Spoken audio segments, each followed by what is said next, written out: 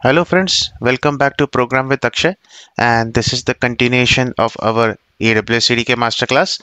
So this is the part part 9 of our CDK masterclass. In this in this part we are going to see how we can create an S3 bucket and how we can create lambdas and how we can assign those permissions to S3 bucket where our lambda can read and write the operations in the S3 bucket. So we will see how to upload an image into an S3 bucket through AWS Lambda. So we are going to give the permissions to AWS Lambda for reading and writing those images in the in the in the S3 bucket. Okay, so let's start. And after this masterclass from the part 10th, we are going to create projects with AWS CDK. Okay, so let's start with our implementation for creating S3 bucket.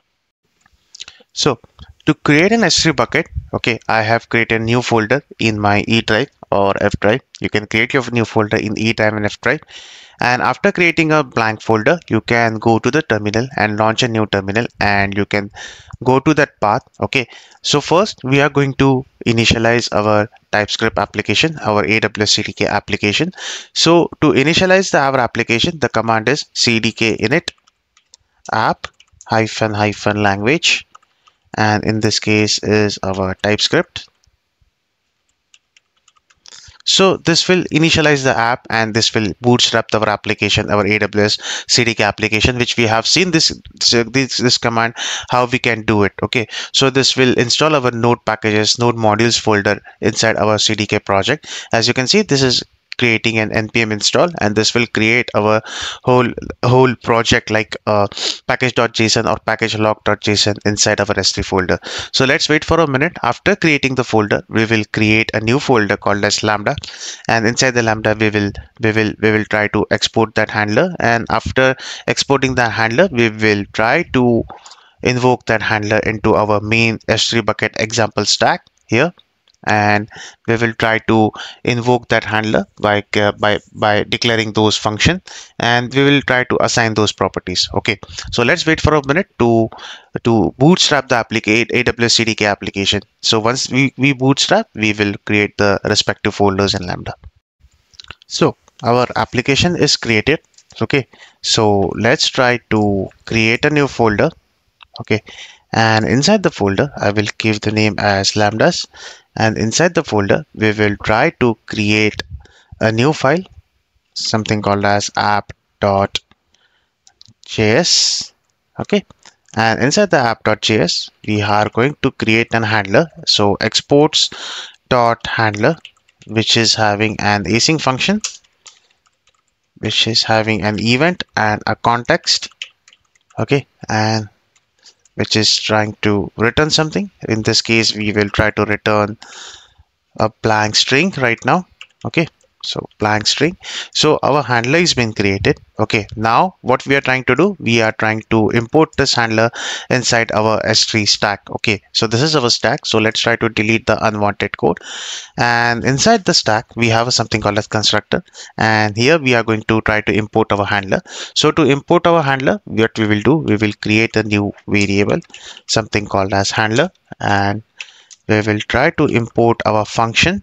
Okay. And inside this we will try to give a name this and suppose you'll give a name to suppose new lambda for s3 lambda for s3 yes and it will have some properties where first we will try to import a function we will try to import function from aws cdk lib slash aws lambda. Now what we are going to do we are trying to uh, assign the properties okay? Like runtime then timeout and handler and code okay? So why i'm getting this error? Okay we have something called as this yes and okay let's try to assign the properties first. So runtime. So runtime is our node.js runtime dot node.js latest one then we will try to assign a property called as timeout. So timeout is 30 seconds. You can specify the duration. So i will specify the duration. So duration it is duration dot seconds. Duration dot seconds is 30 and okay just a minute. And then we will try to specify the handler. Here our handler is app dot handler. And then we are going to specify the code. So code dot from asset where it is going to have from the directory name right? Underscore underscore dir name slash dot dot lambdas. Yes so yeah and this is we are going to specify from path I guess. Quick fix add path yeah. Let's try to save it and again update the imports. It will have the import libraries updated. So we are trying to import this from aws cdk so the code which we are trying to import this code which is coming from our cdk lib slash aws lambda. Okay. So this part is being already explained in my previous cdk masterclass. Okay. So this is just a continuation how we are going how how i have created aws lambda in the in the lambdas folder and how we are importing this lambda in our stack. Okay. So you can refer my previous uh, video from this masterclass i will provide a link in the description. Okay. Now we are going to specify an environment name. Okay. So in this in this case we are going to specify the region name. Okay. And we are going to specify the thumbnail size. Okay. So thumbnail size is mostly in mb so we will specify either 128 or 256 okay. So let's go ahead and specify the environment. Okay. Environment and here which is having something called as region name.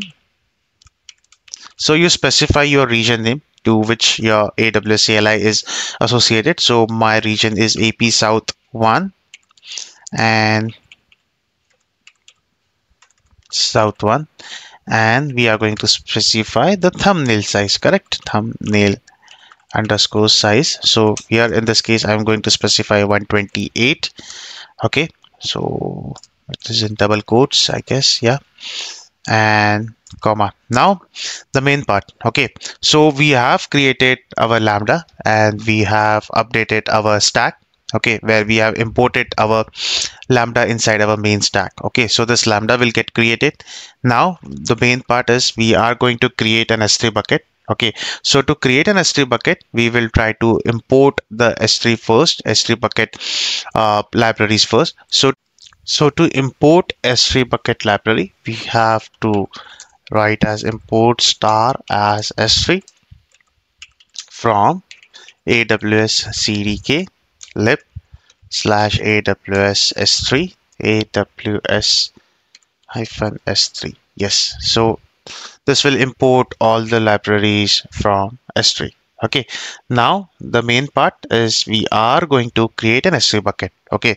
So to create an s3 bucket what we are going to create what we are going to do we will try to create a, a, a, a variable first. Okay. So const new s3 bucket is equal to new s3 dot bucket and which will have this as scope and we will try to give a name. Okay so image hyphen bucket. This is our name and which will have properties. So the properties which we are going to specify is something called as removal policy. So removal policy is nothing but when we try to destroy our stack. Okay so uh, once we try to destroy or we, once we try to type the command in the in our application cdk destroy so the whole stack will get delete, deleted. So this is the property of an s3 so this s3 bucket and uh, aws lambdas and, and and our other resources will get deleted. So this is the property of s3 bucket removal policy. Okay. The next the next uh, uh, uh policy which we are trying to import is is auto delete objects. Okay. So once we try to delete any objects okay so we will set this auto delete uh, delete objects as true. You can set it as, as set it as false. Okay. So this is an another property for S3 bucket. Okay, auto delete policy. we will set it as true. So yeah that's about it. So this will create an s3 bucket. Okay. And this will create our lambda. And this lambda will get imported. Okay. Now the main part. Okay. So the main part is right now we are going to give permission to s3 bucket so that our aws lambda will have those read and write permissions to to to embed or to write the image or write the file into inside the s3 bucket okay. So that is the main part which we are going to do. Okay. So to do that we are going to create a policy something called as s3 yeah here. We are going to import the policy something called as new s3 bucket dot grant read write to our handler. So this is our handler name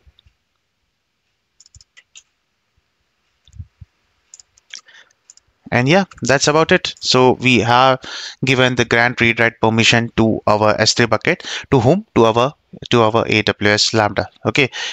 To our aws lambda. Okay. So let's try to save this. Uh, let me try to save this and let's try to deploy this application.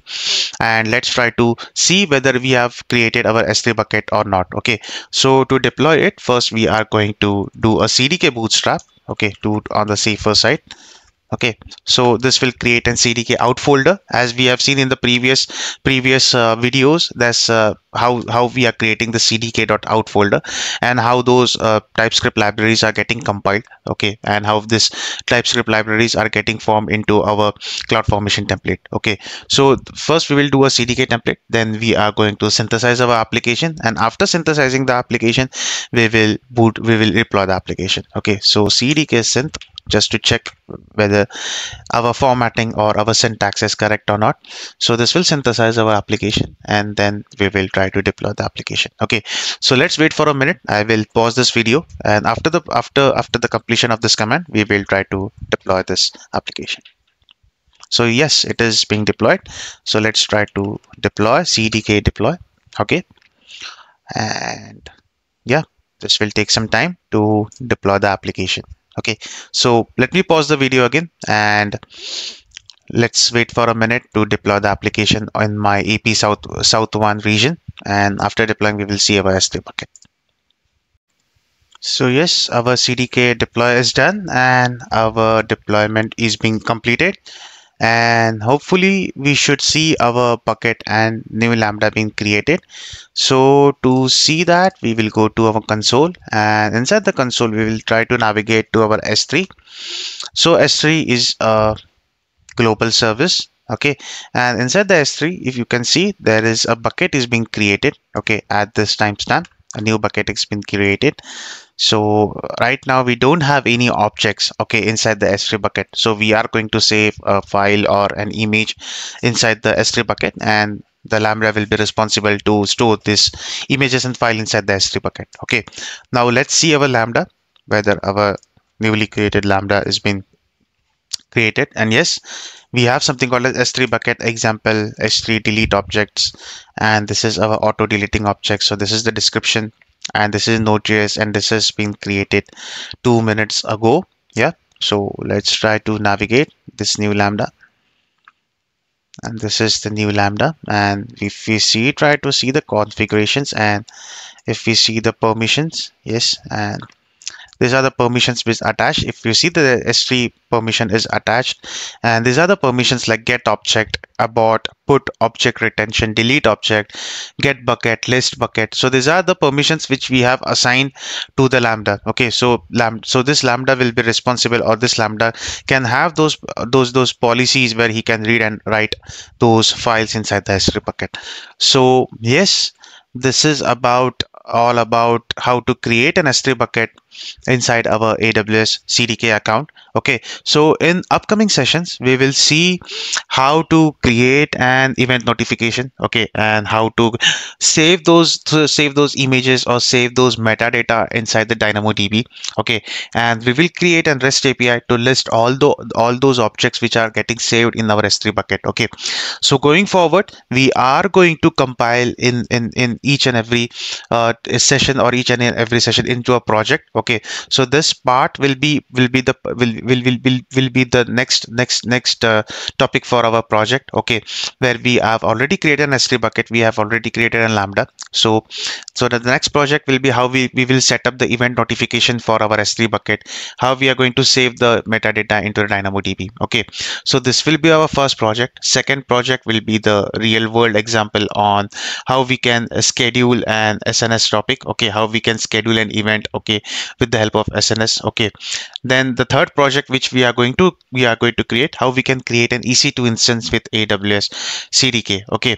And the and the last last session which is very important how we can create an uh, alb creation with with the aws cdk okay. So these are the three to four projects uh, which we are going to see in this masterclass. Okay. So stay tuned and happy learning and do share the content if you find this content very useful. Thank you. Bye